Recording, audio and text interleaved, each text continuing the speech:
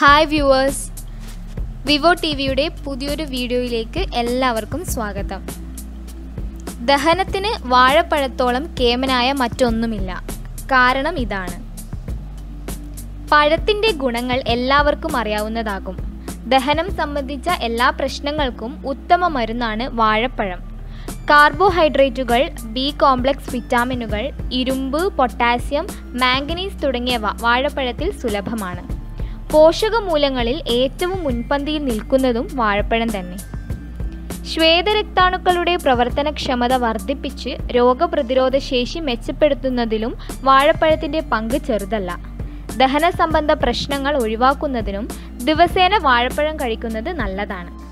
പഴത്തിൽ അടങ്ങിയിരിക്കുന്ന വിറ്റാമിനുകളാണ് ഇതിനു കാരണമാകുന്നത്. ശരീരഭാരം കുറക്കുന്നതിനും ദിവസം ഒരു വാഴപ്പഴം കഴിക്കുന്നത് നല്ലതാണ്.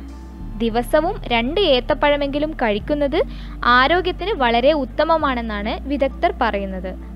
വാഴപ്പഴത്തിൽ സൂക്രോസ് ഗ്ലൂക്കോസ് ഫ്രക്ടോസ് എന്നീ പ്രകൃതിദത്തമായ മൂന്ന് പഞ്ചസാരകളാണുള്ളത്. ദിവസവും രണ്ട് വാഴപ്പഴം കഴിച്ചാൽ രക്തസമ്മർദ്ദം നിയന്ത്രണ വിധേയമാക്കാമെന്നാണ് നേരത്തെ തെളിഞ്ഞതാണ്.